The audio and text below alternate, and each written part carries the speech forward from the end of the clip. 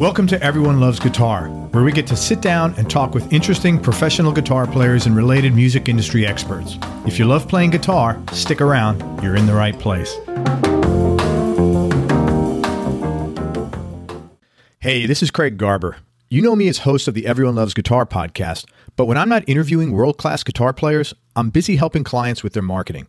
In fact, since March of 2000, I've helped over 300 clients in 108 different industries all over the world sell everything from $20 books to $5,000 seminar seats and everything in between. I even authored a book about my experience called How to Make Maximum Money with Minimum Customers. Now, if you own or operate a business, ask yourself the following marketing related questions and be honest with your answers. Are you generating fresh new qualified leads on a daily basis? Is your website generating enough sales? And if not, do you know why? Is your advertising effective? Is it predictably and reliably making you several multiples of what you're spending on it? And lastly, are you consistently communicating with your email list?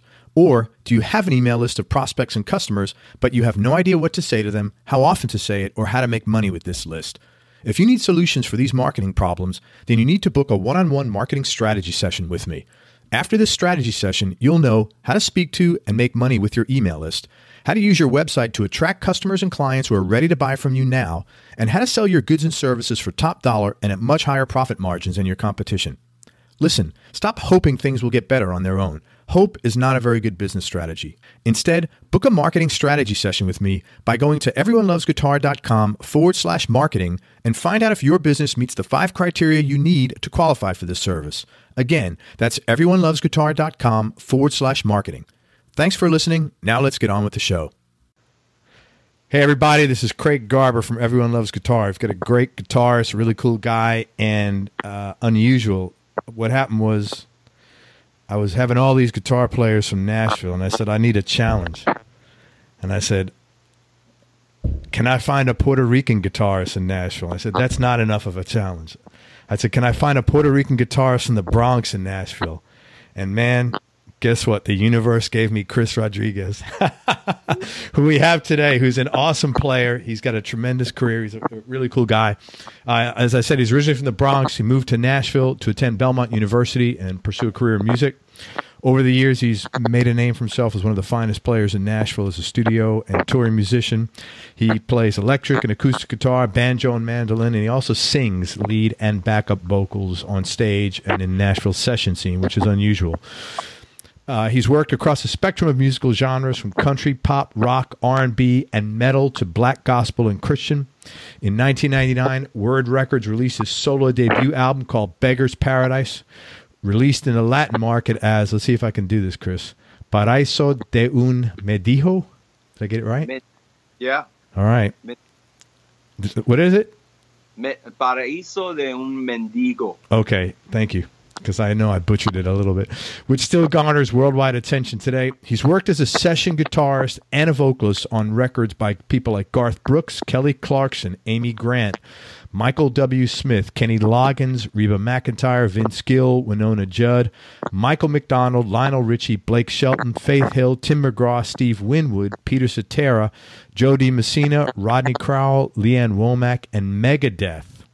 He's also played on stage with several morning and late night shows, including American Idol, the Grammys, American Music Awards, ACMs, the CMAs, and the CMA Country Christmas Specials and the Grand Ole Opry.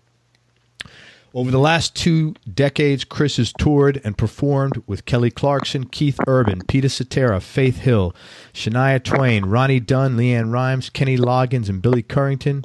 And when he isn't traveling the world, he plays with in town in Nashville with the Nashville Alternators. Originally founded in 2010 while organizing a benefit for flood victims, they can be found performing at private and corporate events, fundraisers, trade show, and he also plays at the Titans games and the Nashville Predators games, which he enjoys.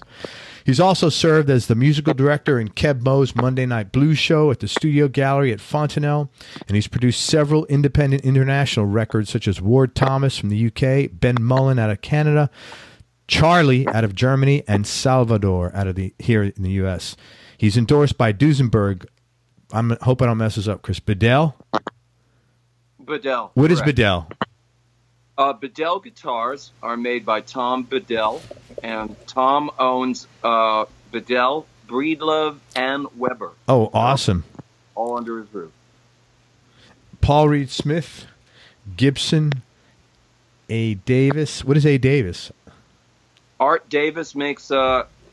well he did. I I, I think he's retired now. He made a, you know boutique acoustic guitars. Oh, cool. This is uh, Yeah. interesting. I'm learning a lot here. Category five amplification, Bad Cat amplifiers, and visual sound. Man, thank you so much for your time.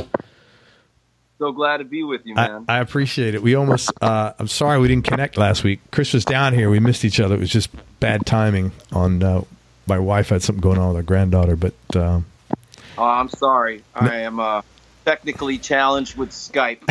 no, it's all good, man. We'll connect next time you're here, man. Or we'll go meet at Nick's Pizzeria on Gun Hill Road. One of those two. Now we're talking. Hey, uh, you've done like so much cool stuff, man. Um, I wanted to ask you about some of the artists that you've worked with. If you could share how you got the gig and maybe a cool story or two Sure. About them uh, or about your experience. Let's start with Garth Brooks. Garth, I got uh, I got an e- uh, text message from uh, a great guitar player who, if you haven't already talked to Gordon Kennedy, you probably will.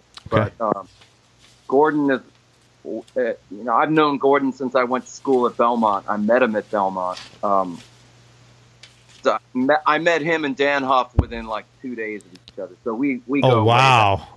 Yeah. That's pretty And cool. Gordon has had Gordon co-wrote. Uh, he's had a lot of hits. He co-wrote uh, "Change the World," which you know Clapton cut, Wow. and from building on that success, he he had uh, a couple cuts on uh, Garth Brooks throughout the years. He's had a lot of cuts. He's worked with Peter Frampton a long time. He's co-produced a few records with with Peter. But anyway, about four or five years ago, he sent me a text and said, "Are you available for a session? It's pretty cool. Uh, I need you to sing." And I'm like, "Well, yeah. Who is it?" And he's, "It's Garth Brooks." He's just been in Garth's camp for a long time.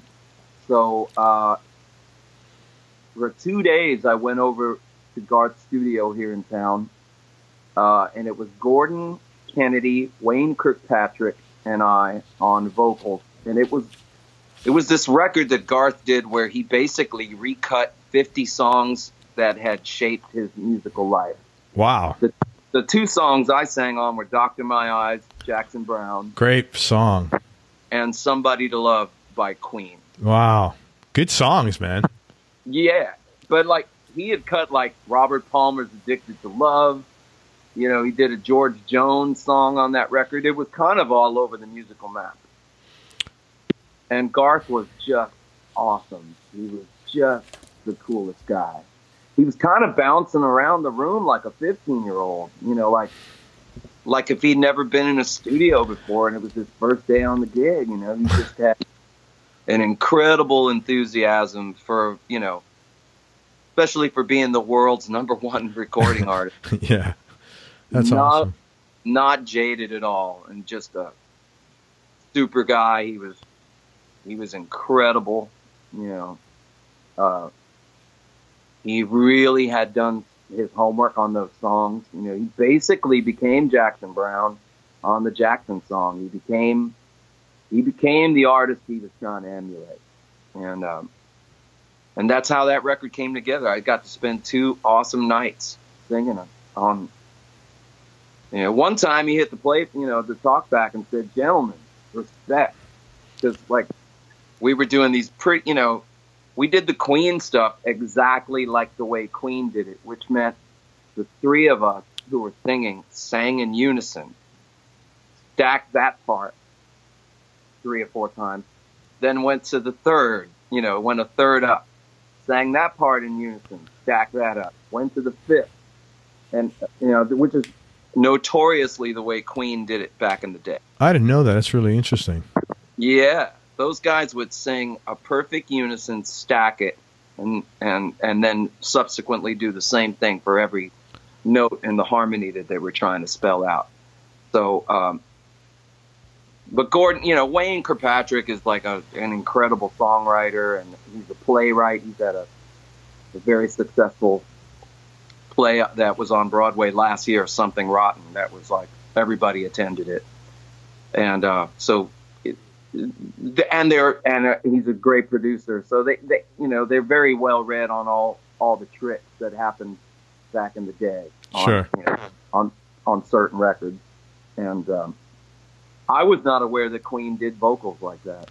Yeah, that was really interesting. I, I, mean, if you think back though, they, you know, there was on some of their songs, like you know, like um, you know, obviously Bohemian Rhapsody, you hear the the the stacking or the multiple tracks, but I didn't, I didn't realize that was a standard thing for them. Well, you know, I, I, certainly in, in that period, that's what. Pardon me. That's what they were doing. Hmm. Um, probably later on. I don't know. They've always had that writ. You know, that's that that's that Queen sound. Now, now that I hear it, I'm like, every time a Queen song comes on the radio now, I really I pay twice as much attention, even as I did as a kid. And and they they were, a big deal for me as a kid. You Hmm. know? Like Killer Queen was the first thing I ever heard, and I was like, "That that guy's the greatest guitar player I've ever heard." Yeah, he, they have they've had some great recording skills, that's for sure. I mean, early on in their career, Hmm. they were, you know. I've got the Pro Tool stems for Killer Queen, so like, I can go, I can go put it on and just listen to Freddie on piano, you know, or or solo up, you know, the guitar track, which is, I don't know, it's like going to school, you know. That's really cool. I, I have to get with one of you guys next time I come up to Nashville because I've never seen that. That's got to be really interesting to do that. Yeah, I've got some. I've got stems on like Sergeant Pepper. Uh, I've got Marvin Gaye. What's going on? Wow, that's I a- got the Jackson Five. I want you. Uh, I've got Jackson Five. Uh, I'll be there. that's uh, cool, man. Yeah, yeah. I can just bust it down to like the harpsichord part on. I'll be there, which is. It's it's really like going to university. Going. It's it's kind of the the greatest way to study a track. What speaking of and- universe? Go ahead. Sorry. and and then you get to really see the imperfections in the track you know which are don't leave those imperfections out kids you know like it's Why is that? i just think it humanizes everything you know i mean you, you can you can go down the, the rabbit hole and make a record as perfect as it can be uh, there's a certain amount of flaw that I personally like in a recording, you know. Um, although, like, I love Steely Dan and they make perfect records, you know. Yeah. Well, they is is it the recording or the players? I mean, they've got you know they've got some monster players on there. I think, I, I you know, I think Steely Dan, uh, Fagen and Becker, the late Walter Becker, I mean, I think they, they, they just kept, they were notorious for throwing away great performances, you know, searching for that thing that, you know, ding, ding, ding, you know, that made them happy. But I, you know, I love the police, you know, and Stewart Copeland is, is a genius musician and mm-hmm. time, time kind of moved, you know, like it wasn't like a linear click track kind of a recording. And it's like time moves, choruses get faster and just kind of adds to the energy Right. Right. what going for, you know. There are certain kind of linear records that I enjoy listening to. Like I would put the Steely Dan records in that sort of linear thing where it's perfect time and then there's like, you know, other other artists where I, the music wouldn't benefit from that. It wouldn't be the same thing if it was that perfect. Hmm. Um early Early what? Early the early police records to me were like Let's talk about Peter Cetera. And for people who don't know, he was the lead singer for Chicago. Yep. One of the greatest, Oh, one incredible! of the greatest living singer bass players I've ever heard. You know, and just and his bass playing doesn't get enough credit. eh, You know, probably because, like, from 1986 to about three years ago, he basically put it up on the wall. Um, and now he's playing bass again on the encore of our live show. But if you really go examine his playing on those records, it's really very McCartney esque kind of bass playing in that sort of jazz rock thing that Chicago did. Very melodic, a lot of good bass hooks in his playing. I always loved his bass playing and certainly loved his singing. Yeah, his voice is, is amazing. Yeah, iconic voice, and, and and he really blossomed later in their career into being one of the great writers.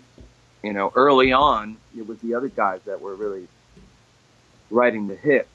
But uh, from If You Leave Me Now on out, you know, he really stepped up and became, you know, a major contributor to their success.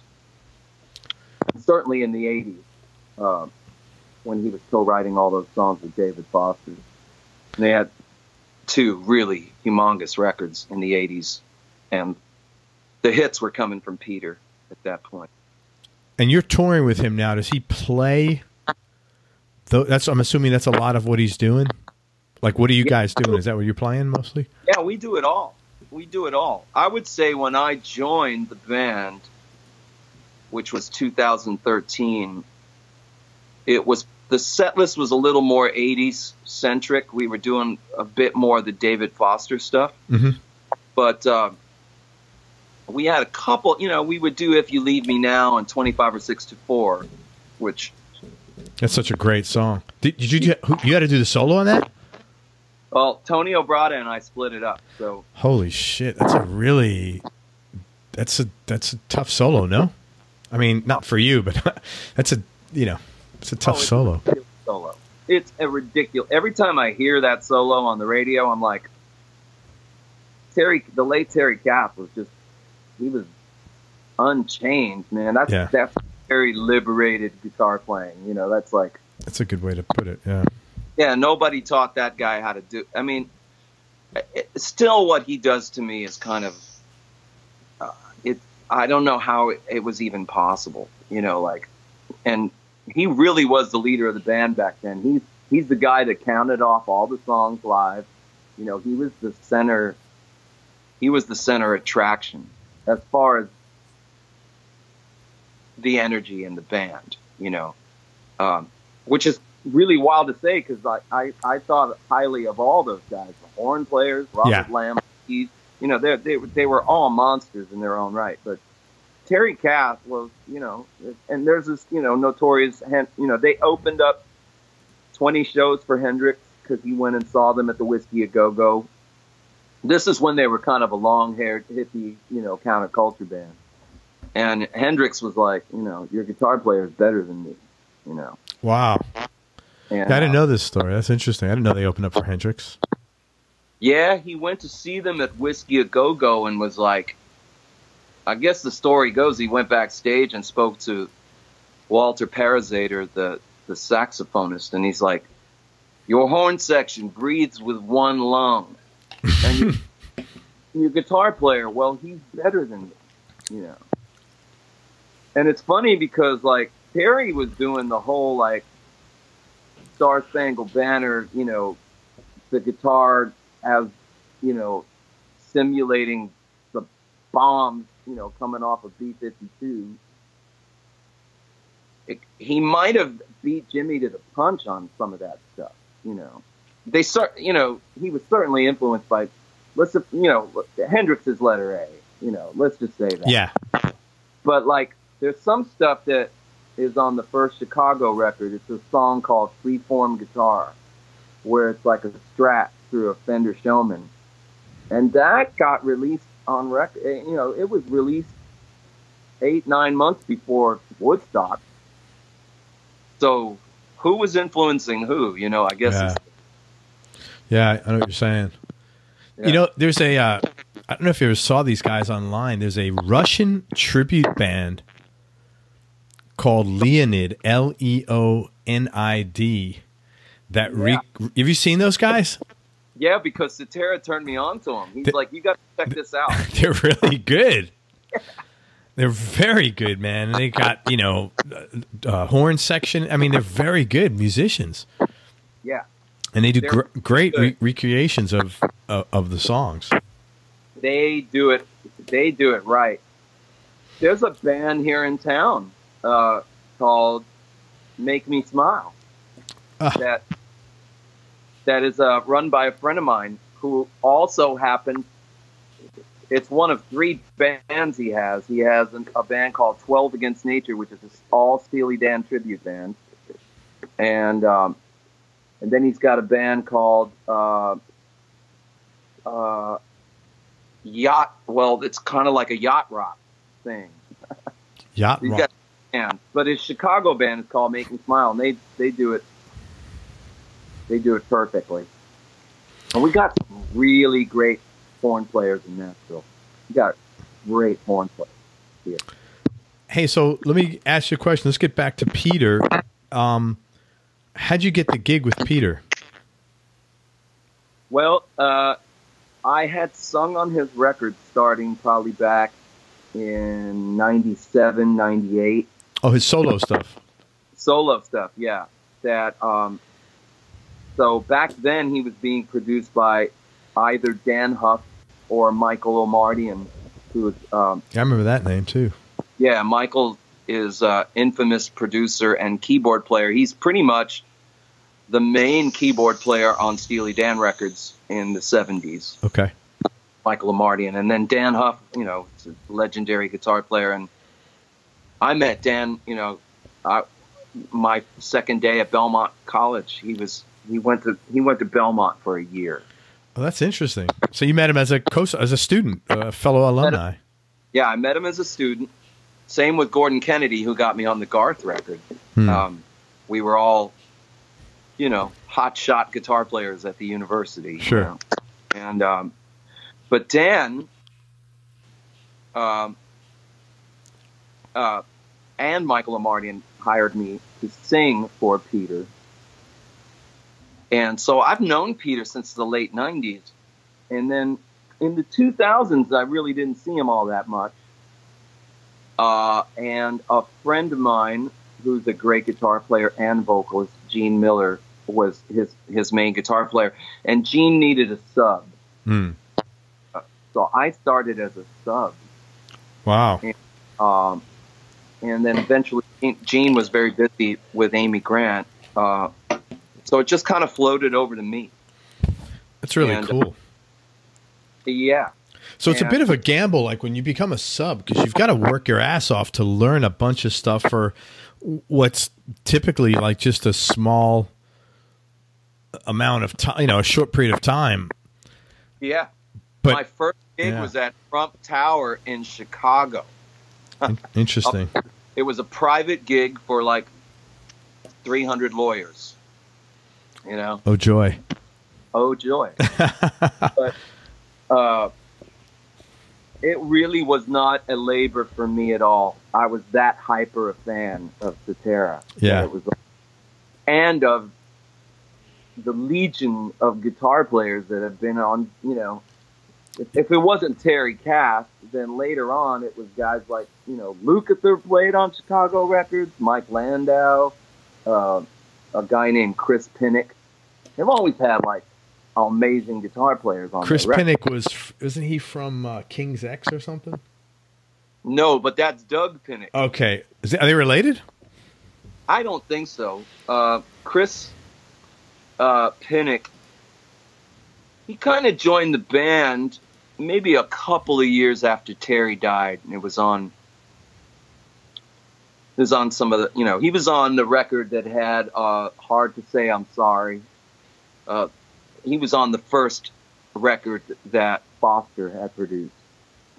Um, but they've had all they've had all these legendary guys you know, as a guitar gig, it's amazing. Yeah. You know, so much territory to cover as a player, you know, and, and it's, it's pretty challenging, you know, for a, for a pop gig.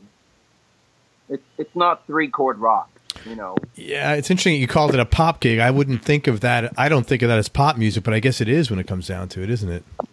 Yeah. I mean, I would call it pop rock. Yeah. I mean, you know, Chicago, early Chicago to me was like, I don't know, it's like, it was like pr- prog rock. Yeah, like stoner prog rock almost. It was. Yeah. I mean, it was very, it was hyper blues, but it was super jazzy and lots of time changes. You know, it was, you know, like I always loved Yes and Steve Howe and time changes. And, you know, it was that, but kind of in a distinctly American way, you know, like you would never mistake it for like British prog rock. But Sure. it was prog rock American style with like with the jazz thing, you know, thrown in, which was when I really think about it, Chicago was kind of my first exposure to jazz music, you know. Yeah. Even though a lot of people would not say they were jazz, but they were certainly jazz. No, they were certainly jazz. So was Steely Dan. Yeah. I mean, they were, they were rock bands that played jazz too. You know, that had a jazz component. Yeah, and like, like I've always worshipped Jeff Beck, you know, and he went to jazz. Sure. You know, I saw Tommy Bolin as a kid. Did you? Where? Yeah. Oh, with Deep Purple. Miami Highlight, Well, 19 Miami Highlight. That's so funny. He, I loved his playing. Uh, I mean, very under. You know, you don't hear him a lot, but he was a tremendous player. He played a lot of prog and jazz stuff. Actually. Yeah, I mean Billy Cobham's Spectrum record. Yep. It's you know I'm like I was I remember being 14, 15 years old in Miami, and I would listen to like Billy Cobham records as much as I listened to you know the Bee Gees doing Jive Talking. You know, it was like they it a- was all it was all superstar stuff to me. I, you know, Chick Corea was as big a star to me as as you know like Queen. You know, like back then. It it was I, I listened to all of it, and uh, but Peter Cetera was an early hero of mine. So like going to pl- learning twenty songs for one private gig, not knowing if there was ever going to be more. It it was I would I would have done it a thousand times over. You know. And how long have you been touring with him now? So four and a half years. Awesome, awesome, man! Congratulations. That's great. He's become a, a great friend and uh, and mentor. That's awesome. Yeah. And man, you know what? I'm just looking at a picture of him. He looks pretty good, and you look pretty good. What are you guys doing? Neither one of you looks like looks close to your age. What's going on, man? What's what? What is the Cetera camp feeding you, uh, dosing you with? You know, he's what I'm shooting for because that's a very young 73 year old dude. Yeah, hell yeah, that's what I'm looking at. There's nothing about him that makes you think he's that age. I mean, he's just got so much vitality and energy, and his pipes are amazing. You know, and he's he's having a lot of fun on stage, which is why we're you know why we're working a lot. You know, when I first joined, he was maybe doing 10, 12 gigs a year, private gigs. But I think the band became some, you know, the personnel in the band, you know, became something that gave him. It just, it was like an energy boost. And I was always the guy in the band going, man, let's do more 70s stuff, you know, which I don't want to take credit for it, but we are doing a lot of 70s stuff in the set now. That's great. Yeah, I mean, there was like a whole decade worth of stuff that we were not really investigating, and I was like, man, I think your your audience would really love a bigger snapshot of what you were about in the 1970s. So, which is looser and rocker and more jammier, you know. Yeah, definitely a lot more jammier. I just, just it was great music, man. I don't know what it was, but it was great music. You know, not that. Not, arc the arc of the live show is kind of starts out very 80ish and pop and then about a halfway to two-thirds it starts shifting into hippie land you know like the hippie side of peter Sure. and, and peter the bass player you know and uh and certainly the encore which is you know we'll do like i'm a man feeling stronger every day and then 25 and 64 wow, just classic songs, man. rock yeah Hey, let's talk about Steve Winwood. How'd you get the gig working for him? he's another one of these guys that I've been basically trying to chase his mojo since I was a kid. You know, Hmm. um, I only got to work with him once, and it was a movie soundtrack. Um, and I can't remember the name of the movie, but it was about a pig. It was a cartoon, I think. And uh, he he was. I hope I'm getting my story right, but he, basically he wrote this song for the movie. Uh, so it was right here on Music Row. I went up for like three hours one morning. It was uh, Bonnie Keen, Marty McCall, and myself, and uh, it was great. You know, there wasn't a whole lot of time for me to like, you know, Winwood, you're you're a rock god. album, like sign my shirt. You know, I didn't have a lot. You know, it was kind of like we got in there, got around the piano, and got to work. You know, but it was like very evident what a great musician he was, Hmm. and, and basically, he didn't really do. He didn't perform with us. You know, he was just like. Maybe change this note. I like that inversion. You know, he was calling the shots, but he was basically producing it. Letting you guys do your thing. Yeah, That's great. but I mean, I have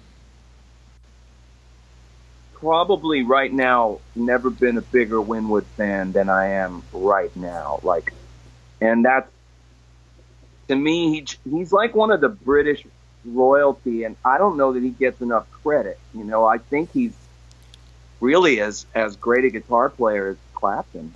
I mean, He is a good guitar player, man. I saw him with Santana about ten years ago down here, and um, I was I I never knew how well he played guitar. I knew you know he was a great keyboard player and just a great songwriter. But what a you know yeah he is a great guitar player. Yeah, there's a song from like 1966 called Stevie's Blues that's on Spencer Davis. It's some of the most wicked guitar playing. Like Jeff Beck would have a fever listening to it. You know, it's that good. Stevie's Yeah. Blues. I was writing it down. I have to check that out. Yeah. To me, he sounds like Ray Charles through a Fender Bassman. You know, it's just like cranked up. You know, it's just he's. I went to see him open for Tom Petty two years ago. Wow. And then I saw him open for Steely Dan last summer, or I'm sorry, summer of 2016. And they had no bass player, so it was kind of like traffic. Like he was doing all the bass moves on the B3, you know. And it was cool and old school and really great, just great. Very cool. How about Yeah. Vin, how about Vince Gill? How'd you get the gig working with him? So Vince, I've known since probably 1993. I got real lucky. I was out with Amy Grant, And okay. Quickly enough, I was singing the part of Peter Cetera That's with- funny. on a duet called Next Time I Fall, which we do every show with Peter right now. And um, at the concert was Tony Brown, who legendary producer in Nashville, produced everybody under the sun. It, uh, he was almost like I don't know. He's he was a power player in Nashville, still is. Um, but back then he was producing Vince, Wynonna, Reba, uh, Rodney Crowell. He produced everybody, and he was at the show, heard me sing with Amy, and started hiring me on all these country records. Holy shit! How cool is that? That's that was my main entrance into the country world. I had not sung on a single country record. Almost everything I had worked on prior to 1992 was Christian music, gospel music, because I, you know, toured with Amy Grant and Michael W. Smith. You know, I was I was pretty known in that world as a as a session guy, but I hadn't cracked the country nut. And then Tony came out to see an Amy show, and he started hiring me on everything. And I met Vince, and by that time I had started working with Kenny Loggins. I was on the road with Kenny. Okay. And uh, the very first day I met Vince, I was on one of his records, and he's like, "I want you to come on the road with me." Holy crap! I had to turn him down because I had just started working, you know, full time with Kenny. Wow, was that okay? So did Jerry wind up going out there? Well, later on, I did tour with Vince. Um, I I ended up doing a Christmas tour with him. We we probably did twenty dates, and it was Jerry McPherson and I and Vince. We were the three guitar players, and we Oh played, my god, what a lineup! yeah, and we played nothing but big archtop guitars. It was all, it, you know, Michael Omartian was out there conducting a different orchestra every night, and the music was very like, uh, I don't know, Nat King Cole, uh, Nelson Riddle, you know, like. think- Nelson Riddle, he did the stuff for Bat. Didn't he do the Batman score? Uh, Nelson like did. Uh, I mean, that's a guy like Sinatra, basically. Okay, Yeah. So it was very, uh, very kind of like big band Sinatra, like the heyday of Sinatra type arrangement. Mm. You know, some of the some of the solos were orchestrated, three part guitar, you know, all harmonized. You know, really cool. And uh, but Vince, you know, Vince is now Amy's husband, and I've known Amy Grant, you know, thirty something years. So I see Vince all the time, and you know, and it, it's it, there's like guitar brotherhood in this town. You know, Sure. like- He's like one guy I'm I'm gonna want to float one a couple of my jazz tracks to just to see if I can get a little love from him, you know, because he's got this other thing that he does in town called the Time Jumpers. Yep. And it's you know, you know what they're about. It's like really cool like western swing, a lot of a lot of Texas swing, three uh, fiddle players and it's all swing and highly arranged and you know, it's like country bebop, you know.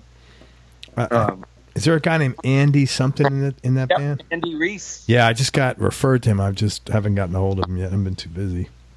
I, Yeah. I, I wasn't so tired when I got in town. We got back from Florida on Sunday night, but Andy Reiss was playing at a, a new jazz club in town called Rudy. That's cool. So I want to go see him um, because every time I go see the Time Jumpers, I'm like, man, that other guy next to Vince is pretty damn good, and and that's Andy. and that's Andy. Yeah, yeah.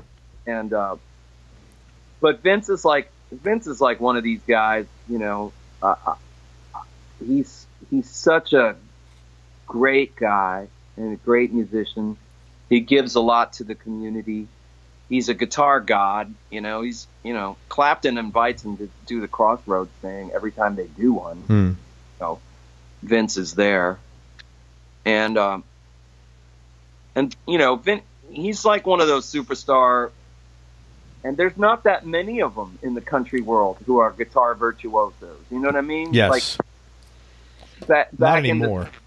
no, and back there's a lot of guys who are virtuosos, but like you know, Vince is in that Glen Campbell, you know, uh, Keith Urban, you know, he's in that upper echelon of guys who are Brad Paisley, Mhm. you know, guys that, you know, they're flying the guitar hero thing. They're flying the torch for that and they keep on doing it, you know. No, but there's not a lot of them. You are 100 percent right. Yeah, I mean, from from Vince's era, it was him and Steve Wariner. You know, like they were the guys back then. You know, in Glen Campbell's time, it was like him and you know Roy Clark and guys like that. Yeah. But very there there's there seems to be like two or three every decade that shoot to like you know superstar status, but not that many. You know, um, uh, that that get to that you know multi platinum status like Vince has maintained. You know, he's a musician's musician. You know, and Yes. every you know if I see him, we could just quickly shoot the bull on guitar all day long. And he's just a normal guy. He goes and has breakfast at Noshville every morning. You know. Yeah. Everybody tells you that. Yeah, he's he just he wakes up and goes and has breakfast every morning at Noshville. And it's no big secret, you know. What's it called? Noshville. Noshville. That's Not so funny. Noshville. That's so Yeah. funny, man. Yeah. Hey, you mentioned Kenny Loggins. Talk about Kenny. How'd you get the job with him? That that's a probably a nice gig. Amazing, and like Peter, he's you know really one of my closest friends and kind of a big brother mentor. But I had, you know, this is like my life. Like this is the kind of stuff that just lands, right? Like I signed a publishing deal with Sony Los Angeles in 1991. Um, I had been playing some showcases in Nashville, and Sony signed me, but they they thought we ought to take you out to the West Coast office and get you signed out there. Explain to the listeners what all that means. It got you signed a publishing deal. Well, uh, I was writing songs and uh, and performing them myself and playing, you know, out in the club in Nashville. And I, you know, I got noticed by by some publishers uh, who that's who they want to sign. They want to sign performing songwriters. Sure. Who could potentially become performing artists. And so um, I I had a few connections at Sony in town, and then they referred me to the West Coast office, who subsequently signed me to a publishing deal, essentially signing me to grab my songs and then exploit them. You know, either I'm going to cut them myself as an artist, or they're going to find other people to cut my songs. Okay. So I go out to LA and I meet. Um, now you go out there to move out there permanently, or just to oh, no, just I to sign the deal with them. I go out there to sign the deal, and Deidre O'Hara was she was running the company, and like she'd been she'd been at publishing at Sony for a long time. Like she knew Marvin Gaye and people like that. And she knew Miles Davis. You know, Oh. she kno- basically knew everybody that was under the Sony umbrella. So she goes, "Hey, you know what? Why don't we go downstairs, one flight down, and go see Bobby Colomby at Epic Records? Right? At well, was he at Epic? No, he would have been. So maybe he was at no, he was at Sony. You know, Sony had like Epic under its umbrella. There was certain there was a bunch of record labels that were under the Sony former CBS. Um, CBS became Sony, right? And then, but Bobby Colomby, who was the drummer of Blood, Sweat, and Tears, who was on Columbia, with thus his association. He, you know, he had a long run with Blood, Sweat, and Tears as their drummer, and he also was an A&R man for Columbia. He signed Jaco Pastorius, And And A pro- and R's artist and repertoire, artist and repertoire. and yeah. and explain just to the listeners what those guys do and what that, that they're responsible for. Well, so like they're sort of the middleman between the label and the artist.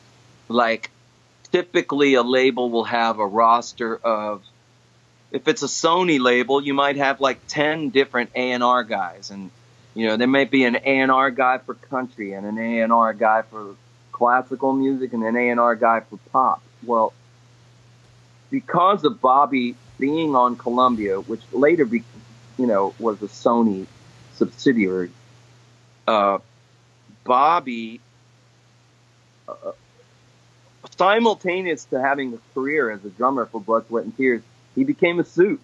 He was an A and R guy, artist and.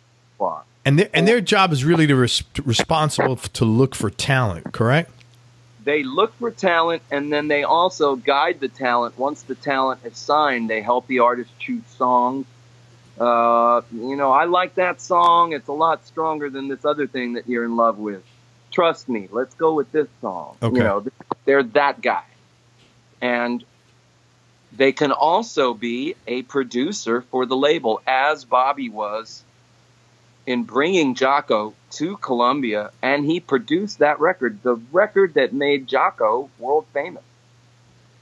Jaco Pastorius, you're talking about. Jaco. So, Deidre, Deidre O'Hara, my publisher, goes, "Hey, let's go downstairs." Like the the day I got signed, hey, let's go downstairs. I want to introduce you to Bobby Colomby. And, um, and I'm like one of these guys that reads credits on every record. So I totally knew who Bobby Colomby was since I was like 11 years old. You know, like I I had Blood, Sweat, and Tears records. I knew he was the drummer. Hmm. I, so, you know, by the time I was 16, I knew that he produced Jaco. You know, like. So here I am. I'm 31. I'm signed to Sony. I go downstairs. I meet Bobby, and uh, I had a DAT tape. That's like that was like the you know now everybody just puts stuff on a CD or like sends files and Dropbox. You know, back then that was the format for like carrying your songs around. So she brought a DAT tape down to the meeting of my songs that basically got me signed. Hey Chris, meet Bobby. I shake his hand. We're in his office. Bobby, check out some of this guy's songs. So he puts the thing on, and after three or four or five minutes of listening to it, he lowers the volume and he goes, So these are your songs? And I went, Yeah. He goes, Is that you playing guitar? And I'm like, Yeah. He goes, Would you like a job with Kenny Loggins? And I went, Yeah. Holy crap! This is all like, and what's going through what's going through your head? It's just like like our guy. what's that? He was Kenny's A&R guy. Oh, okay. Columbia. So, like, talk about a jackpot day, you know, like Yeah. Like- where the stars aligned and it was all, you know, like ding, ding, ding, ding, ding. You know, it's like winning a payday in Vegas or something, you know, it's like, and I was like very calm. I was like, I knew what was happening, you know. So he calls Kenny's manager, who calls Kenny. And I'm going to be in LA for like a week, right? And I'm still at this point with Amy Grant, kind of like right. kind of mainly still in her camp as a touring guitarist. Now I'm assuming she knew you were going out to sign this deal. No, I don't think I. I don't think I. She might have known. You know, it wasn't like I was. You know, at this point in her career, she's like one of the top five female stars in the world. Right. So you know, she she had tons of stuff on her, you know, going on. Okay, I get it. So like your you signing this was not an impact on her one little bit. Everybody is you know as long as you made the times that you're supposed to be there, you, you're you you know you're good. It's not like you're Yeah, I working. yeah. This was like one month where we just weren't working. Okay, you know? gotcha. So I go out to LA. I meet Bobby. He's like, "You want to be in Kenny's band?" And I'm like, "Yes." You know, like, and I'm, you know, I, thinking like at some point I'll probably have to tell, you know, this could be a conflict with Amy, but like, you know, Kenny's a big hero of mine. You know? Sure. Also, to be fair, the Amy Grant tour, we we pretty much had winded down. We, Okay. we were we were pretty much done. Uh, you know that you know it was going to be maybe a you know a handful of like private gigs or something. You know, so like we were we were kind of done. So I'm already out in L.A. and uh, I get a rent a car. I drive up to Carpinteria, which is basically Santa Barbara, and I go to Kenny's house, and Kenny's not there. He's not back from working out. All right, so I sit there for like 30 minutes Oh my god. longest 30 minutes of my life. And he walks in, he's wearing sweats, he's got long hair, it's up in a man bun, you know, no big deal. Hey man, give me give me five minutes, I'm gonna pop in the shower. You know. So my my wait got even longer. Yeah. Then he comes out and we pull out two acoustic guitars and we just start jamming and he hears me sing and he knows I got a high falsetto, you're in. That wow. Okay. Two weeks later is my first gig with him. No rehearsal with the band. Zero. How did, so you had two weeks to learn his songs. Like, yeah, and I, for some reason, I went home. I don't think I even had two weeks. I think I had like a week. It was a private gig in Park City, Utah, right? That's that's like- in Salt Lake, right? Yeah. Yeah. For like 350 celebrities. Like, and no rehearsal with the band. So like they had sent me DAT tape with the band on the right side and my isolated part that I'm supposed to learn from the guitar player who had left the gig, Guy Thomas. So if if I, I if I just took one headphone off, I could hear Guy Thomas on vocals and guitar on the left side. That's the part I'm supposed to learn. Bands on the right, and I did that for 23 or 24 songs. Okay. Wow. and just absolutely did my homework. And I walk in to do the gig, and I'm meeting some very big wig players. Steve George is on keyboards. Steve George was half of the band Mr. Mister. Like Okay. I knew who Steve George was. Freddie Washington was on bass. Well, Freddie, I, you know, Freddie, you know, I knew about Freddie from Herbie Hancock. Um, he played on Patrice Rushen's "Forget Me Nots," um, legendary. You know, I I basically knew, and Marc Russo on saxophone. He, he played it with the Yellow Jackets. You know, these were like heavy ass people, right? Mhm. So to say I'm nervous is an understatement, you know, but I had done my homework. So we do the gig, like, I don't know who's in the crowd. The curtain opens because it's at a large restaurant, is where the gig was, Mhm. right? Right on the main strip of Park City, which is now where they do the Sundance Festival, right? Cool. Uh, and you know what? It it was Sundance week. We were there during the Sundance festival. And the curtain goes up, and there's like Hall and Oates sitting. Holy crap. Uh, Bernard Shaw, who was like an announce, uh, uh, an anchor for yeah, CNN. Yeah. Why do I? Yeah. Right. Right. Right. Bernard Shaw. Right. Right. It was like that. Like everybody there was a luminary, famous person. And I guess I did good because not only did Kenny pay me great for the show, but he, you know, uh, bonus me like 500 bucks. Hey, double down if you come out tomorrow, right? Something like that. Yeah, and and here I am, 26 years later. You You- know, That's amazing. How, how long did you play with Kenny for? well, it's been on and off for 25 years. Oh, so you've been playing with him the whole time. I thought you were. So is that how you met Shem? That's how I met Shem. Because he's MD there, wasn't he? Or Yeah. yeah. Okay. Okay. I, I was in the band before Shem. You know, I was Right. in the band maybe a year or two before Shem got in there. And uh, and the guy who now does the gig, Scott Bernard, who's an incredible player, uh, I recommended him. You know, um, I probably recommended six musicians that's you know six musicians to Kenny that he's used in the last fifteen years Um, he's he's gone. He's got a, a lot of Nashville people that have been in his camp, um, including uh, Gene Miller, which is how I got the Cetera gig. You know, I recommended Gene to Kenny, and Gene recommended me to Cetera. You know, it's like we're all sort of, you know, patting each other on the back and doing the alley oop, you know, and throwing each other gigs. But you know, Nat, I don't know. I think it's the music business in general. It seems like once you're in, you know, and once you know whatever it is you do, and you're in there, uh, people are very comfortable endorsing you.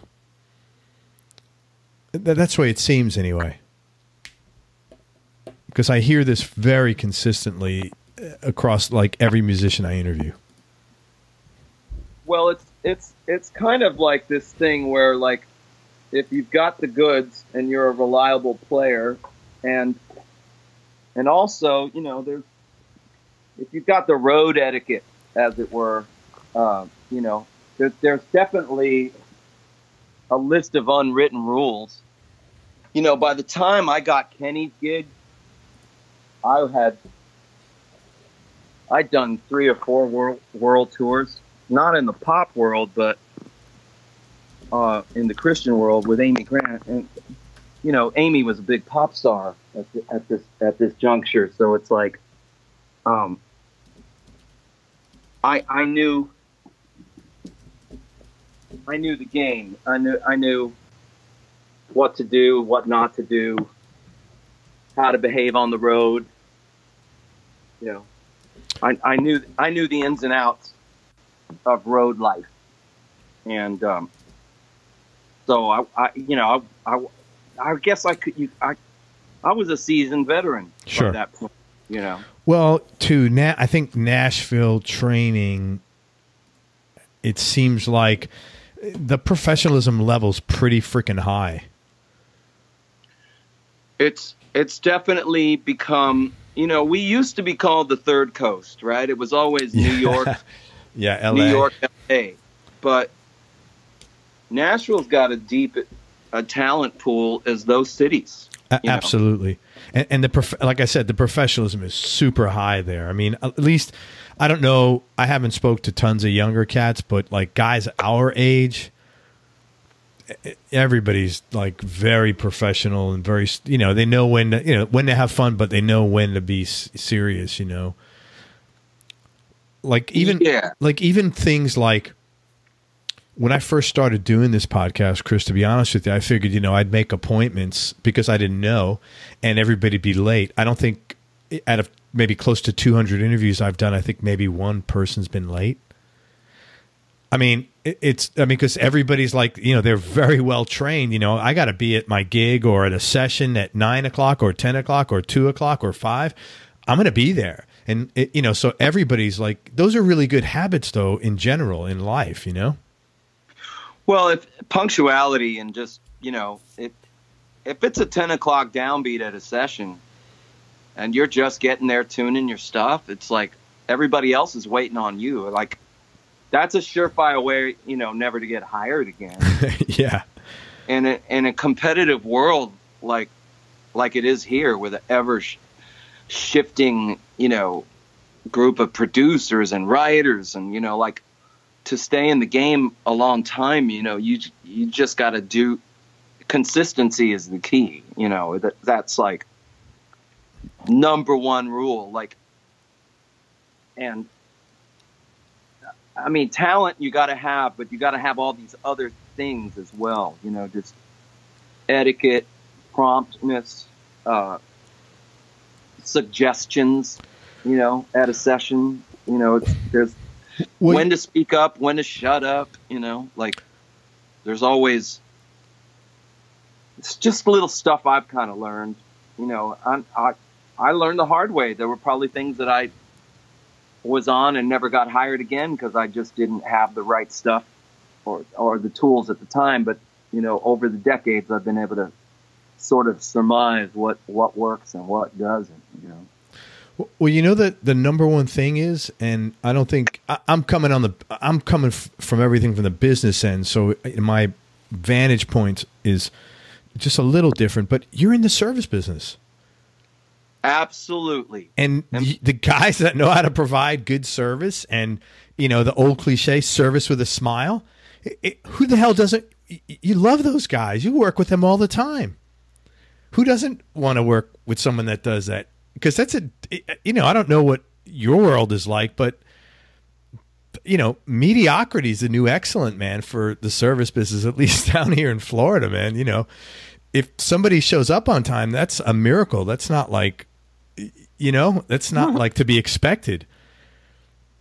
My friend Mike Brignardello, who's a legendary bass. I know, bass- Mike, great guy, Great guy, but he calls us day laborers, and we are. in a sense. build, we build musical houses. We show up. Yes. It's just like it's just like we're showing up and putting siding up on the wall, except it's for songs. Yes, that's a you know, and and I it I don't I understand what he's saying. That that doesn't give you guys enough credit, but yeah, I get it. Yeah, I totally get it. I it. mean, it, it's a little understated, and he's Yeah. you know, he's making a he's being uh, self-deprecating. yeah, it, but tongue in cheek. really, at the end of the day, that's really what we do. yes, You know, yes. there's you know um m- maybe there was a period in time where there was a little more glory to it you know uh back back in the 90s when they were printing money in this town you know but like right now everybody's doing the hustle sure. so it's pretty much uh it's pretty much a blank slate. You know, it's you you you gotta just show up for the gig as if it was the first session you were ever gonna do. You know. Yeah. I've got two tomorrow. I'm doing a ten and a two, and you know, uh, I got to be ready at 10 a.m. to strum an acoustic guitar, be in tune, and be ready. You know, and then bolt across town and play electric all day. You know, so it's like, um, and I don't take it for granted at all. Sure. I am not. It's not anything that's owed to me. Every single gig that comes around, you know, we're we're we're all on the hunt. You know, we're all hungry. To- totally get it, man.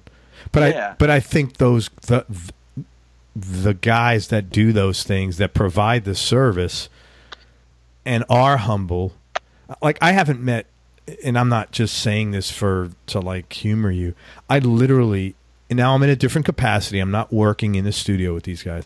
I I, I haven't out of 200 musicians I've and I've interviewed all over the country, maybe half at least in Nashville, maybe two thirds man, I've met two or three guys that have been kind of egotistical. That's it. That's a pretty low percentage, and they haven't been like assholes. They just you could tell the like, okay, this guy's a little in love with himself.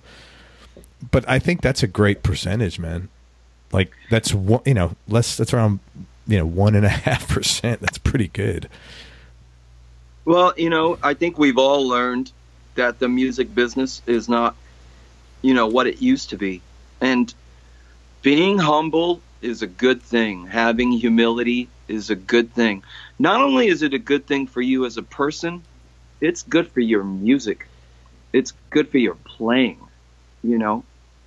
If I thought I was, you know, if I thought I was the deal on everything, I wouldn't learn anything Right. you know. So I'm constantly on YouTube looking up Scott Henderson and Pat Metheny and uh, John McLaughlin and you know they're all they're all doing Robben Ford they're all doing clips on YouTube. That is my guitar teacher. Sure. I go there at least once a day just to like get a nugget of wisdom you know and learn something new because when you think you got when you think you know it you don't you know and but it's probably the reason why i'm having the best time of my career right now. Like i i feel like i'm 15 and i'm learning stuff every day and it's really fun That's awesome, Yeah. man. it really is. I mean, there there's nothing like going out and playing live. That that's immediate gratification. You have an audience right there in front of you giving it back. It's different from a studio, which is, you know, the only immediate gratification you're going to get is if the producer looks at you and goes, "Yeah, I like what I'm hearing." You know, that that that's it. You just get you're there for that one that one person or the artist. You know. But you're Well, you're there you for- show up though, Chris. I mean, like mentally. I mean, I don't know you real well, but we've talked, you know, a few hours at this point. I mean, you you you're you show up. You're there. You're present. It's you're not You gotta like be pre- yeah, yeah. You, you know, you're not like you know another fucking gig. You know, I mean, you're yeah. You know, I I I enjoyed that about you. It was like clear and that your your enthusiasm for what you're doing is is genuine. You know, and you're happy to be doing it. You're grateful, like you said, and you provide the service. And dude, I've been wanting to do this since I was five. You know, like I'm living the childhood dream every day. You know what I mean? Sure. This is like, this is something I wanted to do as soon as I could remember stuff. You know, Sure. from the from the pretty much from the time that I have memory. You know, it was like, you know, initially I, my mom and dad had all these like Broadway musical uh, albums in the house. So I wanted to be Robert Goulet, man. I, I wanted to like sing. Robert Goulet, man, you're taking me back with all these names on this call. Yeah. like I wanted to sing in Camelot or West Side Story or like Fiddler on the Roof or like th- I'm trying thinking of the big '60s soundtrack records of the day. Perry Como.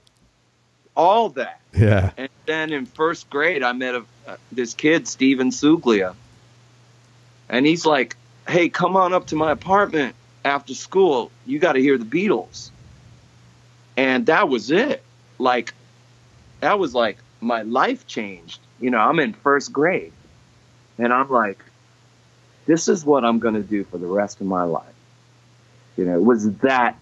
Never had a plan B. Never made a content a contingency plan. You know, it was always about maintaining a life in music. Yeah. So, and now, at, you know, it's a dream. I'm living a childhood dream. Let me ask you this: when when you first got out of school and you first started playing professionally in Nashville, what were some of the bigger surprises for you? Like things you weren't expecting or you didn't know. It doesn't have to be bad, but just things that were like, oh, okay, I got to make sure I this is I, I didn't learn this in in business class in Belmont. Hmm, that's a good question. I was. I, I don't want to say I wasn't wasn't surprised by much, but I definitely I was definitely ready for stuff. Um, like, and I don't. I think it was because I had a really good teacher at the college I went to. Mm-hmm. He was like, he was like, man, I'm not worried about you as a player. You're gonna make it, which was incredible for me to hear from my teacher. You know, like I hadn't done anything yet in my career at that point, you know. But he was like, I'm not worried about you as a player. You're going to make it. Uh, my job here in, in, the next four years that you're at school is to give you as many tools so you can go out and make a living. I'm going to teach you a bunch of stuff you don't know, you know. And by the way, do you own a tuxedo? yeah, doesn't every 18 year old? of course. and I'm like, no, I don't have a tuxedo. Why? He goes, because there's some gigs that I can't do and don't want to do, but I, I think you'd be good to do them. Oh, wow. So, like, I'm in college with my teacher and he's throwing me work, right? So I go and buy a tuxedo and I show up at a gig and it's like the first song is Misty. Yeah. Wow. The second song is Take the A Train. So it was a jazz gig. Da-da-da-da. Kind of, but by the second set, you're playing Long Train Running by the Doobie Brothers. Oh, wow. What a cool gig.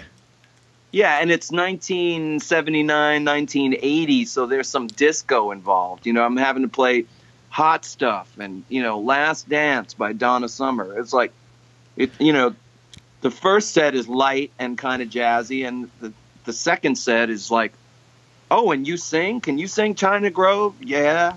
You know, it was like that. Man, so, you are. I, I can't. Man, I really regret not seeing you play now because you, you know you've. Uh, you're obviously a badass because you've done all this stuff and and all these people like you know snagged you. Man, I'm so sorry. Like we drove two hours. I, I guess, dude, don't worry. I, don't listen, man. That's the last thing. I wasn't on. I hey, it's my fault because I should have thought. I just I'm sitting there thinking, oh, I guess he just came for one gig in Naples and he's going back. I, I should, you know, it should have been me thinking, well, where else is he playing? So don't worry about him. I'll see you. I will see you play for sure this year, hundred percent.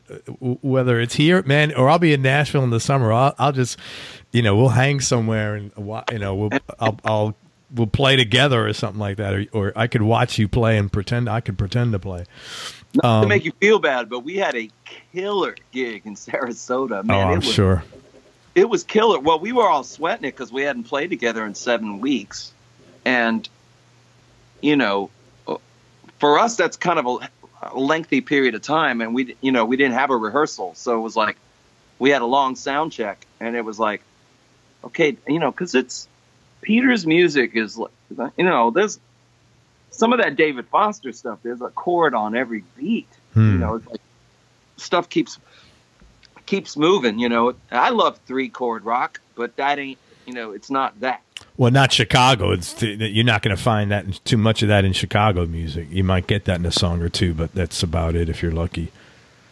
Yeah, I mean, I, I mean, I like playing. You know, I like playing Cinnamon Girl and stuff like that. But there's a lot more chord changes. You know? Yeah, sure. So, um, isn't it? Was that at the new? The- is that place new? No, we played. uh So we played this place called Van Wezel. I played there with Kenny, like I don't know, 14, 15 years ago. Okay, I thought it was new. Been there before. It's it's it's uh it's been there a while. Okay. It's, it's it's a nice kind of you know it's a performing arts center. Yeah, yeah. Um. So I don't know if you answered that question. Things that were surprising you. Well, you know, I think by so by the time I got out of school, because my guitar teacher, who let me tell you, I mean, like three days ago, I, I, I sent him text messages like every couple three months, like, John Pell, thank you for being you and for teaching me some stuff. That's You know, cool, man. like, He's probably thrilled to get that because he don't get that from guys like you that are so far out of it at this point. Yeah, I mean, we're still really good friends. I mean, we're friends, and like, I I try to like, I try to see him. You know, I try to have dinner with him at least once a year. You know, um, he uh, God, I want to say he played classical. You know, he played classical guitar at my wedding 20, 30 years ago. Oh know wow, that's really just cool. a just a great friend. But in answer to your question, I, I think I was ready for some surprises. I mean, there's things that you know happen that you got to like learn, um, but he had given me such a head start by just throwing me gigs and like, and I you know I got thrown into some pretty deep water because I was like I've never played Misty before, you know, but I had a real book, you know, full of all the standards Hmm. And I was already in, you know, I was learning jazz at school. So, but it was like my first time, like, you mean I'm going to drive to Clarksville, Tennessee, which is 40 minutes away and make 125 bucks in a night? Yeah, that must have been big time. Yeah, for 20 years old. Yeah, yeah. Like, so it cost me $100 to buy a tux. That was my investment. So first gigs, first gigs Yeah, on of the course. right? Yeah, of course. That's no big deal. I probably did in college. I probably did about 40 of these suckers. Good for you, Before- man. before Yeah, I but-. So that's why you had such good training. Yeah, and then you're like, yeah. you're just ready. You know, you just end up being ready. You know, people walk up to the bandstand and start requesting songs. Do you know it? You know, and your brain goes, no, but you absolutely say yes. You know, and you're looking at all these people, and sometimes it's people that you're meeting for the first time. You know, I, it wasn't the same band every night. Sometimes I'd go out there and it's like. Hi, I'm Chris. I play guitar. Hi, I'm Joe Blow. I play bass. Let's play a three-hour gig. You know, Right. it's like that. So there that's baptism by fire. So what that's really great training though, man. Tremendous training. It is because you got to Yeah. learn how to make music with strangers. Which you is- know, which, yeah. so there's like this basic set of unwritten rules in this language. You know, and um, so by the time I kind of got, you know, Dann, and this is where Dann Huff, you know, Dann Huff is so key in my life. He he's recommended me several times for things that ended up being like humongous things for me. Like, if you could go back because you've been doing this a long time and it sounds like you really i mean i know you said you probably lost a couple of gigs but i think you would chalk that up to a, im- appropriate immaturity or uh, uh, uh, inexperience probably a better word for that point in time in your life. So not a big deal. It doesn't sound like you've beaten yourself up about it because everybody does stuff like that. But if you can go back and give your younger self, little Chris Rodriguez or middle Chris Rodriguez, advice, what advice would you have given yourself? Wow, great question. I think Thanks. I'm glad you. I think I would have.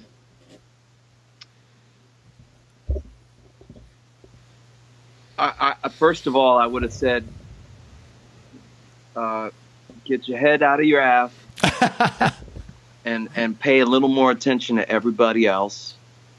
Um, you're not the center of the world, and listen more. Like just listen more. You know, I I, I think I have a reputation as a nice guy. I'm easygoing, you know, but like maybe I just thought I was. I don't think people thought I was conceited, but I might have been. I might have thought I was cool, you know, which you know that's just maybe that's just being young, you know. Yeah, I think so. You're young and you don't know better, you know. You don't, you know, whatever humility I have now, I kind of gained over the years. You know, you, you you win a few, you lose a few. You you you you you get up the ladder and then you get knocked down a notch. You know, so it's like I think I would just probably would have been like just you know suck it up and and and just start listening a little more you know you mean listening to music or listening to other people or listening to mm-hmm. smarter people than you or listening to smarter people. It's not just the music. It's not listening. I've always been a good listener to music. But just listen more. You know, okay. you're not the wisest 27 year old that ever walked the planet. You know, you know, uh, you're, you're on top of the world now because you're young but you know that that doesn't last every day. Start, you know, quit talking and be more of a listener. Okay, so let me ask you this question because this is kind of related to that. Mm-hmm. Uh, you mentioned earlier that you had a couple of guys that were your mentors. I think you said one of them was kind of Dann Huff, one of them was your teacher, and I think you said musically one of them was Gordon Kennedy. Yeah, I mean they're all, you know, they're all guys that have been sort of in my life for a long time. I mean, uh, guys like Dann and Gordon are they're kind of more my peers, but they really are my mentors too. You know, it's because of Dann Huff that I met Michael W. Smith. It's because of Dann Huff that I got recommended to sing on Faith Hill. It's because of Dann Huff that I sang on Lonestar. It's because of Dann Huff that I'm on Megadeth records. You know, like talk about one guy that opened up like a gazillion doors for me. Yeah. You know? Um, I, could, and but I could say the same about Kenny Loggins. You know, I went and did this record in the early '90s called um, "Outside from the Redwoods." It was a live record. That record came out, man, and and all of a sudden I had a whole lot more respect in Nashville, and I I had already sung on a few hundred records by that point, but because of because it was Kenny, you know, it was like that was like that had a lot of weight, you know. Um, I mean, he's always been a mentor. The way Cetera is to me now is is a mentor, you know. So let me let me ask you this then: when you were younger, when you said listen more to other people, do you think you should have like solicited more advice were you that guy that was okay getting advice from people? I was okay with getting advice, but I was a little uppity about it. Okay. You know, like I was a little, you know, there was, and maybe this might have been more on the business side than the music side. Hmm. You know, um, there were probably certain business things that I could have done better. You know, um, had I listened to you know wiser counsel right. You know? Um but then again you know like i always thought the music business was a very dubious business you know like um i had been offered record deals probably since 1986 1987 in the gospel christian music world. And i turned them all down until 1999 when I signed to Word. Basically, because I just kind of felt like I would be off in this one world over here on the left and ignore the bigger world, you know, the pop, the pop rock world. And then, Yeah, but that sounds pretty reasonable. That doesn't sound like uh, bad judgment because there is No. a chance of that happening, yeah, especially at a young age. I, I think that was one example where I actually made the right decision because let's face it, and even in Christian music, you sign to a record deal.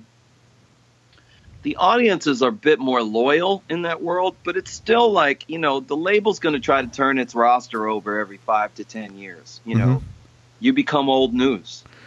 So the fact that I stayed kind of an independent, you know, hired gun has probably kept me in the business longer. Like, Yeah, you stayed I- relevant more. yeah, I think I've had more longevity as a hired independent gun than than if I'd have put all my eggs in that one basket because you know that inevitably unless you're one of the rare 5%, you know, that can last for a long time, you're going to you're to be booted off the label. And then what? You know, I had the fortunate or in the foresight to to want to be a hired gun because I can just stay independent and keep changing and moving. You know, like, okay, since Keith Urban, now I play, you know, mandolin and banjo. You know, I've added that to my thing. And So you, do you what? still play with Keith on the road? No, no, I haven't been with Keith since 2010, but I had to learn how to play some of what they call utility instruments. Right, You know, right. extra stuff.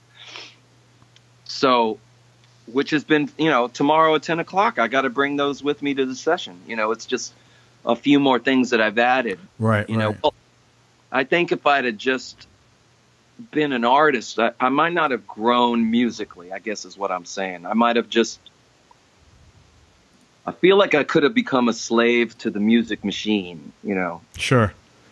without uh, without pardon me without growing so um, So where do you think you, you would have had better business decision making? Because it sounds like it worked out. it worked out but you know like i don't know there's there's certain things um I don't have any regrets you know there were a couple oppor- you know couple opportunities i missed out on you know but like i became a family man so i you know that became my priority Sure. when I first got the gig with Shania Twain, I was with her for about a year and we did not go on the road. All we did was TV shows. She was selling a million records a month by not touring. Wow. J- just by going on TV. Just by putting out these videos and she became this phenomenal, phenom- you know, she was Like YouTube, uh, like a YouTube phenom before that was, everybody was a YouTube phenom. Well, it's no. At this point, it's MTV and VH1. I mean, she's a she. You know, she's a beautiful woman, Yes. very sexy, beautiful. Did you know at when at the time they called them, you know, racy or provocative videos. They look awful tame to me now. Yeah, yeah, you know, for sure. but but certainly in the country world, she was kind of reinventing the rules for women in country the way Garth was reinventing it for dudes. You know Yeah. in the 90s. So, and because the videos were so popular, she sold a million records a month, and all we did was go on Jay Leno, David Letterman, the American Music Awards, the Grammys, Billboard Awards. You know, it was all TV. What was the coolest of those shows that you've done? Uh, of, of stuff with Shania. Yeah, just TV shows in general. I mean, you've you've ran the circuit multiple times, I'm sure. okay i gotta say i i when i was with keith urban this was in 2005 we played an event called live 8 Live All- eight, the number eight. Yeah. Okay. 8 because it was live 8 because it was eight different territories across the world also chaired by bob Geldof. Okay. so So it's like Live Aid, but different. Yeah, not Okay. li- not Live Eight. They called it Live Eight. Yeah. Oh, because you. it was eight different cities across the globe. right. Getcha. So we were in Philadelphia.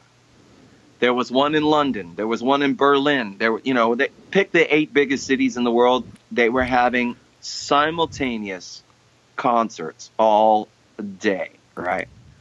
So in Philadelphia, I'm playing with Keith, but like it was Linkin Park, Def Leppard, Stevie Wonder, Maroon Five.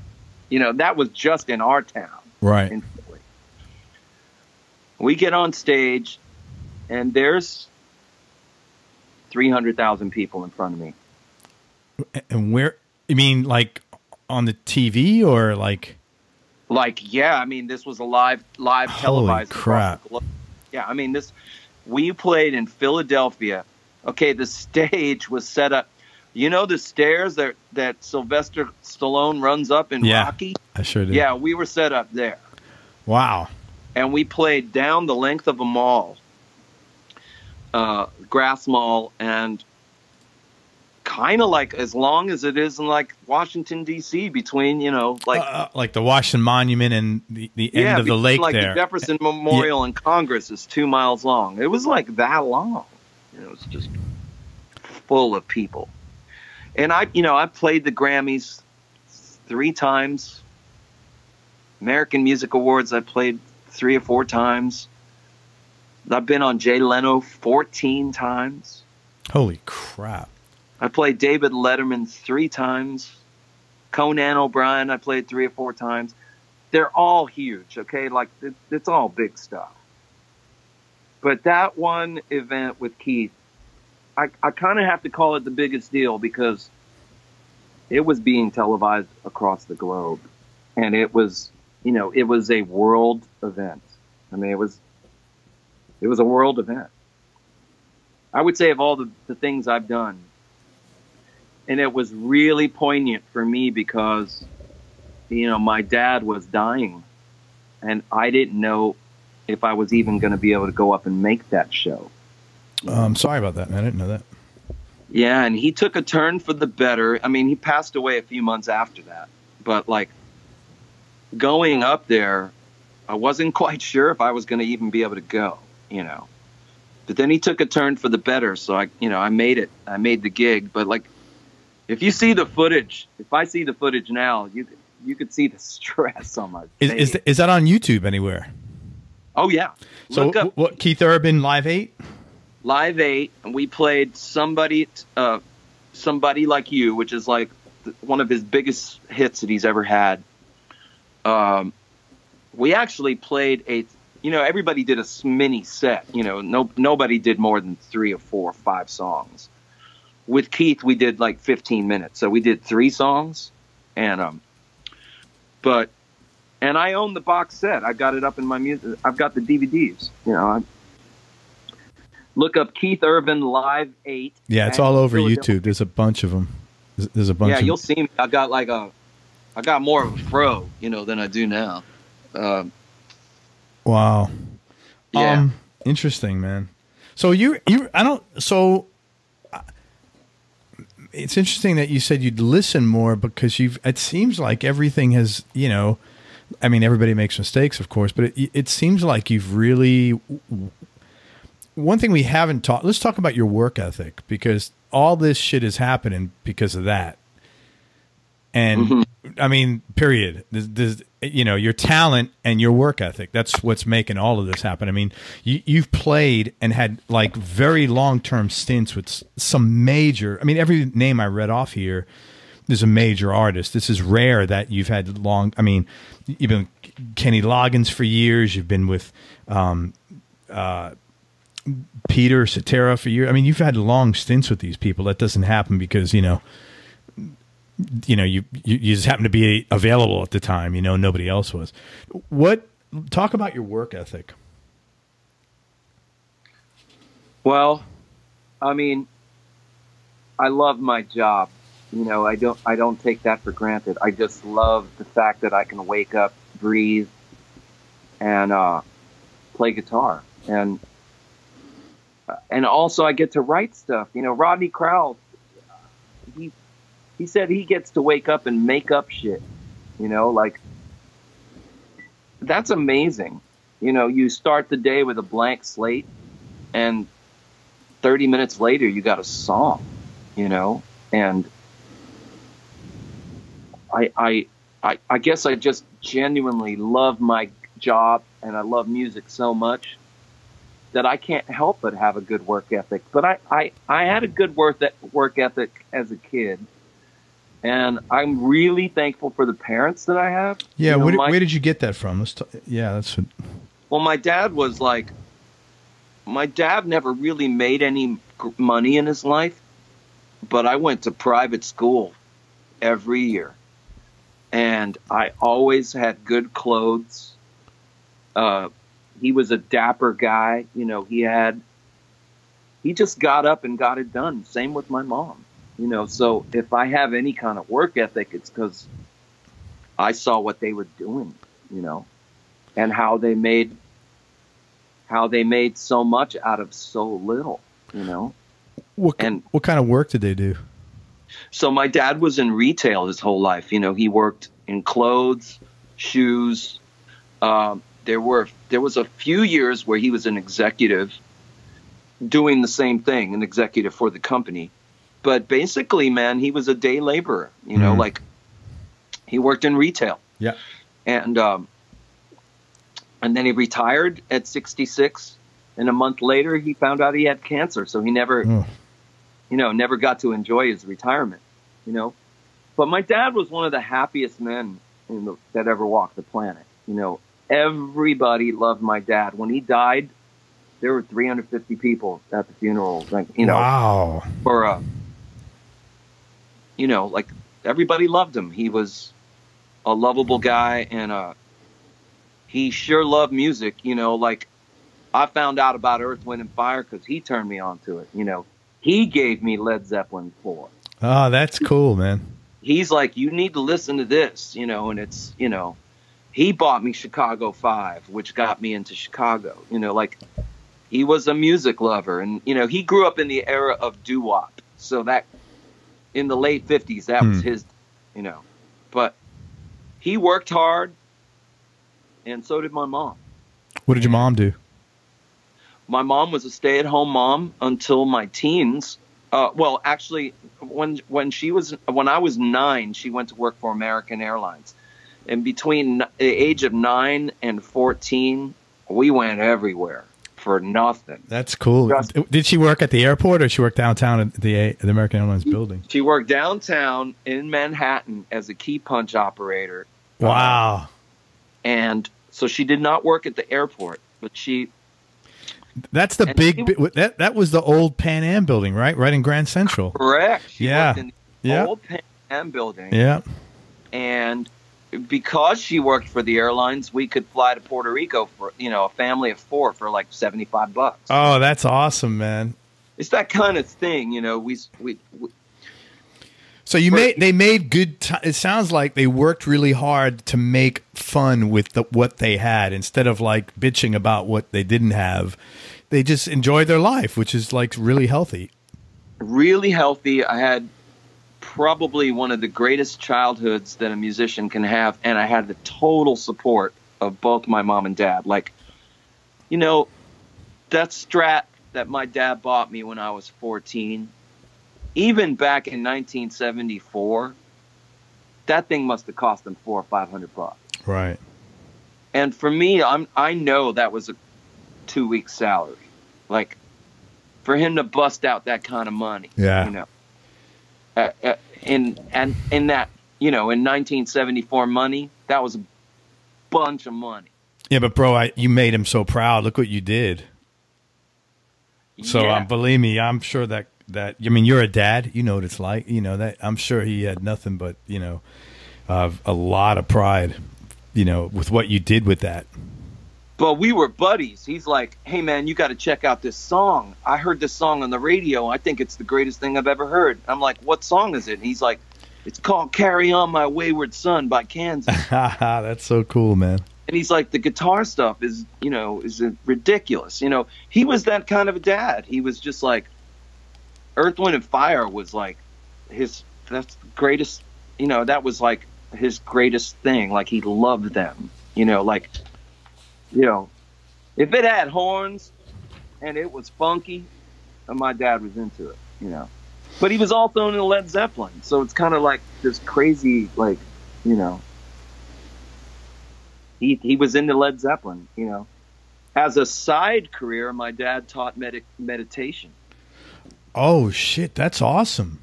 So, Yeah, he, so- so he was probably very chilled out as a human being. He was a very advanced guy. You know, he was kind of this Buddha cat. You know, like we all grew up Catholic and we all went to Catholic church, but I guess there was something missing for them. You know, we we lo- uh, we lost a member of our immediate family. My brother died in his sleep. I was six. And Wow. there was another, there was another brother who was three, and then my brother Ricky who passed away, and he was two. Sorry, So- man. Wow, that's from 1966 to 69, those were really dark years for my parents yeah. uh, because of the loss of a child. But my dad, he was the one that said, "Maria, you know, let get let's get you back in the workplace." And she went back to America. She, you know, she worked for American Airlines. It got her out of her funk, right? Yeah. and and be, I guess because of the loss of the child and what they were trying to like, you know, fix themselves, um, he he got involved with meditation. Well, he loved it so much he started teaching it on the side when he wasn't working. So Just as like a passion hobby of his. yeah, That's and right. so he's imparting some of that wisdom onto me as a ten year old. I'm learning some very deep things. Yeah, yeah. So, like, my mom and dad were like hippies, but without the drugs. Right, you know. right. That's really cool. Totally cool, man. and they were of that hippie counterculture time. They just didn't do the drugs, Right. you know, and they went off into the meditation thing.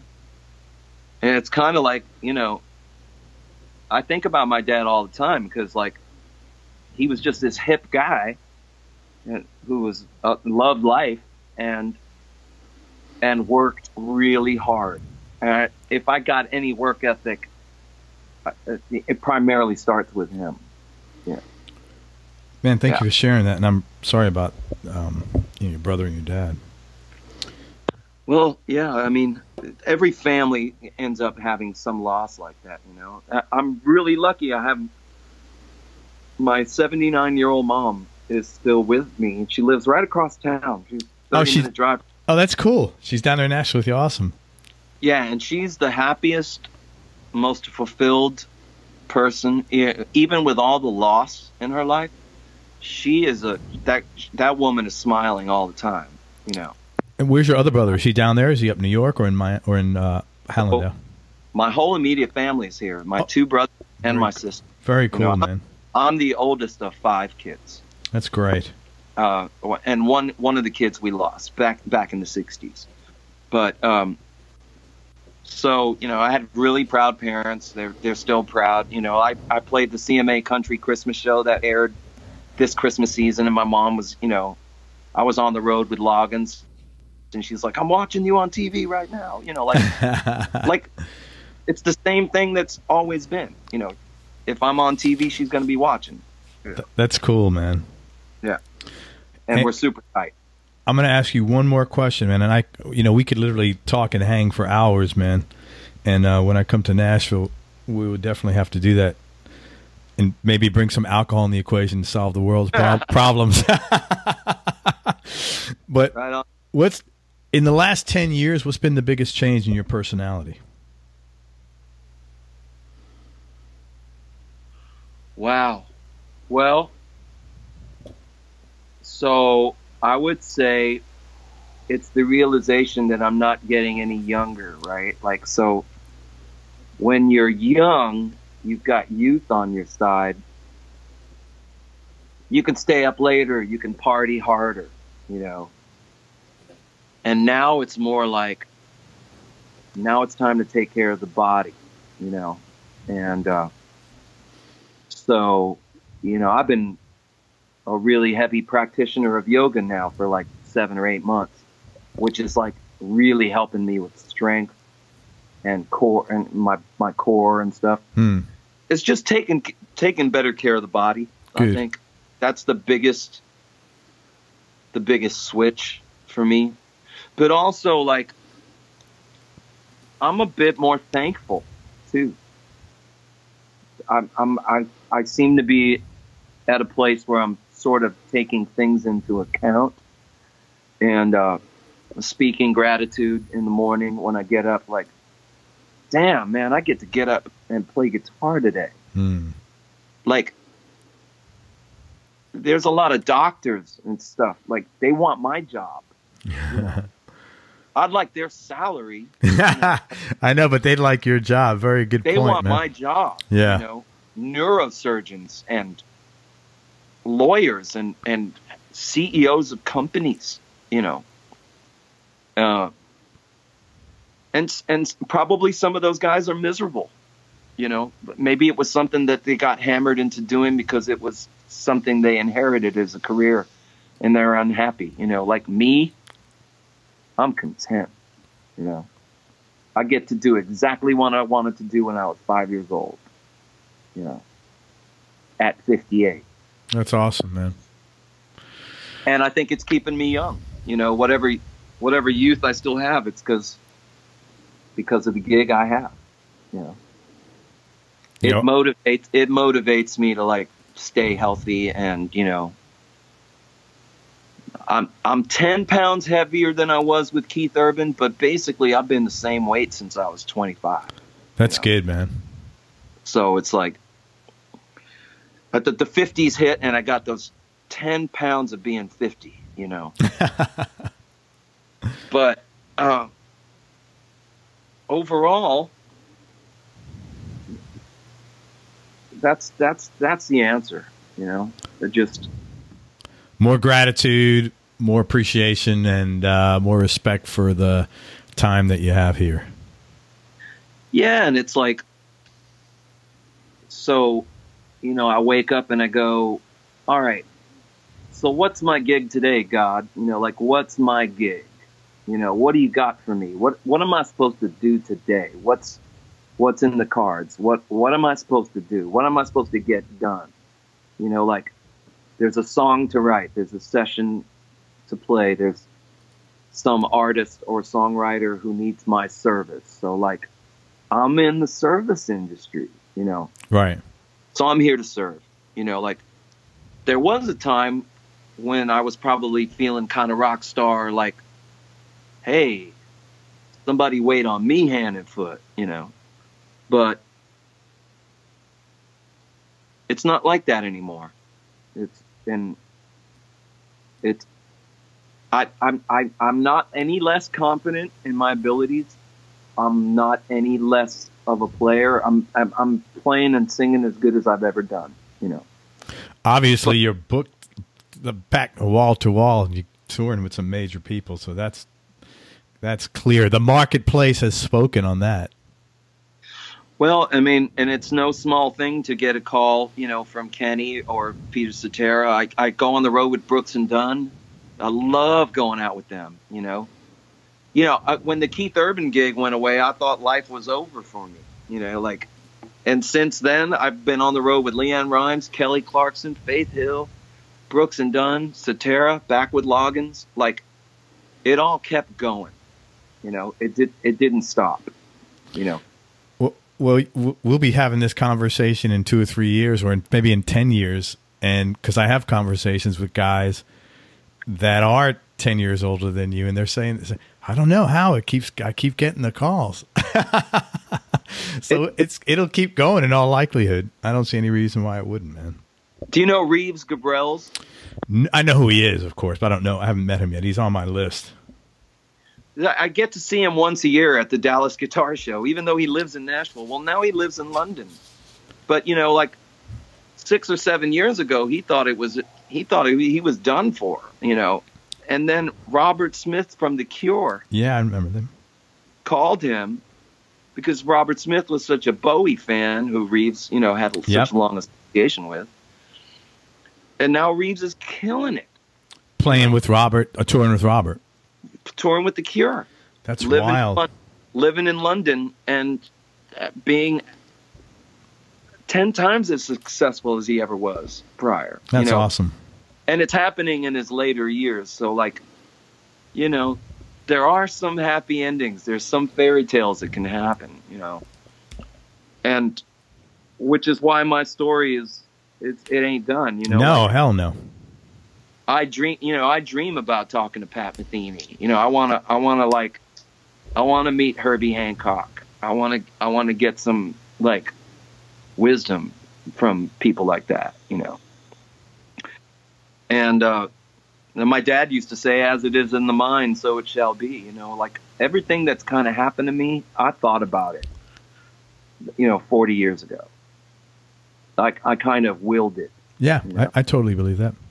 You know, and that's not spooky. No, you no, no, no. That's Haywire like, stuff. no, no, no. It's like you know, just that's you know. Unfortunately, most people don't think positive shit. They think negative shit, and then that's why negative shit happens. Yeah, there's there's something to having a vision. Mhm. You know, there. You know, I'm never gonna learn. I'm not gonna learn this Jeff Beck lick or this Larry Carlton lick unless I can visualize myself mastering the lick. You know, you know, like you know, I was out with Keb' Mo' doing that blues thing. That's like one of the greatest years of my life, 2013. You know, I'd never had a blues gig. And there was so much grease and mojo I learned that year. It was crazy. Was uh, man, what's his name was on that? Uh, Casey Wasner. Yeah, man, he's a great yeah, guy. he- he's a nice young kid, man. Yeah, he's a good guy, real good guy. and I didn't know how ridiculously talented. know, Yeah, he was- he's he a- was- he was Kev- you know, he was Keb's tech. Yep, he's a monster though. He's a monster. I went to see Robben Ford, and Casey was the opening act. Yeah, you know. he's he's playing on Ro- he's playing and producing Robben's album now. I mean, that's Yep. insane. Yeah, he's a very together guy. You know, just puts his head down. What he he called himself? He grew up on a farm, and I said, man, that's always a great. You find a guy that grew up on a farm, that guy's going to have a good work ethic. It's just that's the way it is. Because you, he goes, yeah, I'm kind of a what's that dog that runs around? It doesn't say. He goes, I'm a whatever that dog is. He goes, uh, not a, a Labrador, but you know, um, some little dog that's always running around. Um, he goes, yeah, that's me. So yeah, he, he, he he's he's like that. But man, um, man, I, I can't thank you enough for everything. I really appreciate it. It's been really nice getting to know you, and I'm glad we had to have this conversation, and we'll definitely Likewise. talk more, um, you know, in person for sure. Uh, let me tell people where to find you at least. First of all, Chris is going to be coming out with a record this year. And he's an incredibly talented guy. He's got close to 40 songs written, and I would check it out. He's a hell of a, a he's a really talented player, and look for him on Facebook for now. But his record's going to be coming out sometime this year, and he'll be back on this show to talk about it, and we'll promote it when it comes out. So, but keep a heads up for that. And um, that's it. Check him out out on the road with Peter Cetera. Check him out out on the road with Kenny Loggins. And who else should they pay attention to that you'll be touring with this year? Well, right now, um, right now it's pretty much those two guys. Great. But like you know, when Brooks and Dunn calls, I go out with them. Um, I'm still that gun for hire. You know, people call, I go out. Um, I, I, I do TV stuff, and you know, it's uh, it's all win-win. Awesome. Well, no pay, such as a bad gig. pay attention to Chris Rodriguez. It's uh, Chris Rodriguez with a Z, and check him out on Facebook, and he'll be letting you know when he's going out on tour. Hey, man, thank you for everything. I really appreciate you sharing your story and um, telling me about your family and all the cool shit you've done. Thank you, Craig. Great talking to you. Likewise. Everybody, thank you so much for listening. I hope you enjoyed this uh, interview as much as I did. I'm going to say interview, conversation, as much as I did. And uh, thanks so much to Chris Rodriguez again for spending time with us. I certainly appreciate it. And go to everyonelovesguitar.com. Sign up to get notified about future episodes along with some cool stuff we're rolling out real soon. Now, be nice, go play your guitar, and most important, have some fun. That's why you're here in life. Till next time, peace and love. I'm out. We hope you enjoyed this show. If you did, subscribe to the Everyone Loves Guitar podcast and you can do this online at everyonelovesguitar.com or on iTunes. And if you like the show, please leave us a five star positive review. The more five star reviews we get, the higher our show ranks, and higher rankings mean we get to continue speaking with cool, interesting guests on our show. We'll see you on the next episode, and until then, keep playing your guitar and have fun making music.